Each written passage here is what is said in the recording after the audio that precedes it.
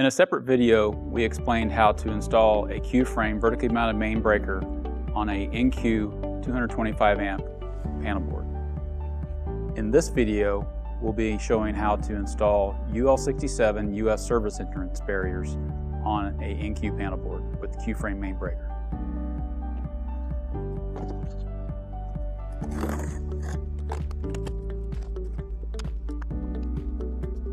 The first step is to install the smaller part, which is the bottom part of the barrier.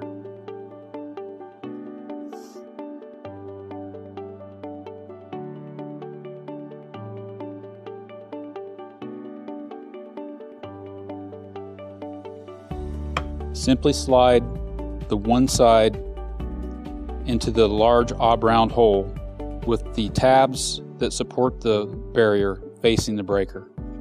Rotate it down and snap it into place.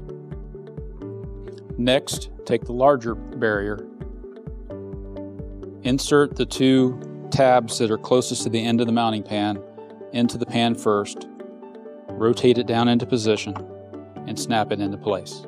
In order to fit it over your cables, you need to remove the breakouts in each section for each phase based on the cable size you're using for the panel board.